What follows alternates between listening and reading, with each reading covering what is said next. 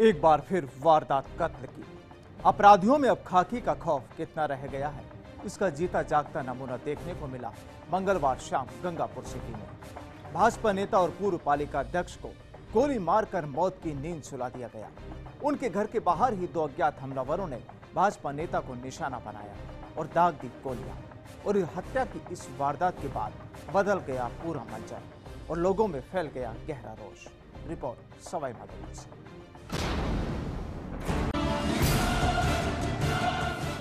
ये तस्वीर है गंगापुर सिटी की, जहाँ मंगलवार शाम कत्ल की एक वारदात के बाद सनसनी फैल गई। यहाँ के पूर्व पालिका अध्यक्ष प्रकाश चंद्र अग्रवाल को अज्ञात बदमाशों ने उनके घर के बाहर ही गोलियाँ मार दी और वारदात को अंजाम देकर बदमाश रफू चक्कर हो गए।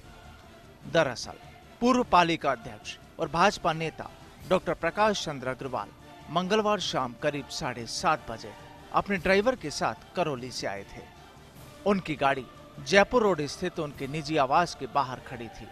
रात करीब नौ बजे, डॉक्टर प्रकाश अग्रवाल अपनी गाड़ी को पार करने के लिए अपने घर से बाहर निकले और गाड़ी का दरवाज़ा खोलकर गाड़ी पार कर रहे थे।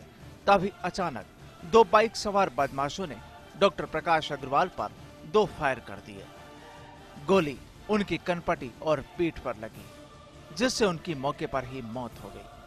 घटना के बाद अज्ञात हमलावर मौके से फरार हो गए। वारदात की खबर मिलने के बाद इलाके में दहशत का माहौल पैदा हो गया।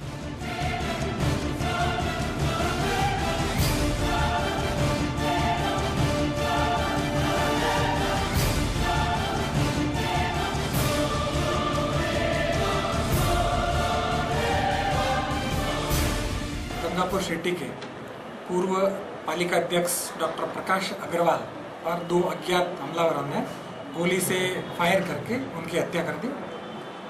हत्या किन कारणों से की गई है? अभी तक मामला ब्लाइंड है।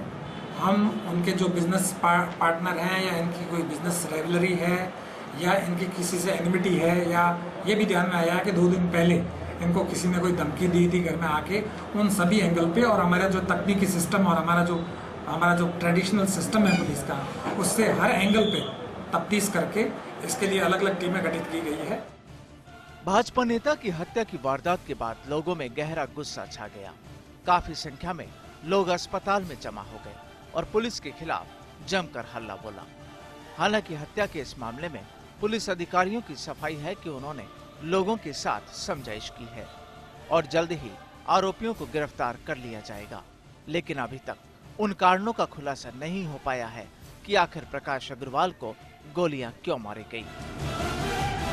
हॉस्पिटल पे पोस्टमार्टम से पहले और बाद में लोगों ने आक्रोश व्यक्त किया कि यहाँ के पालिका अध्यक्ष थे और उनकी इस ढंग से हत्या हुई है। तो उसमें जल्दी से जल्दी गिरफ़्तार हो और उनमें अगर किसी का दोष रहा है या किसी की लापरवाही रही है तो उनके खिलाफ कार्रवाई हो। इस संबंध में हम समीक्षा कर रहे हैं कि किसी की अगर कोई लापरवाही सामने आएगी तो बेशक कार्रवाई होगी और हम इसमें बिल्कुल तुरंत से तुरंत मुलजिम को गिरफ़्तार करके सलाखों के पीछे करेंगे। ये बिल्कुल हमने आश्वस्त खुलेआम हत्या की वारदात ने अब इलाके की पुलिस को भी हाशिए पर खड़ा कर दिया है। पुलिस के सामने अब चुनौती खड़ी हो गई है उन कातिलों को गिरफ़्तार करने की जिन्होंने गुनाह का ये खेल खेला।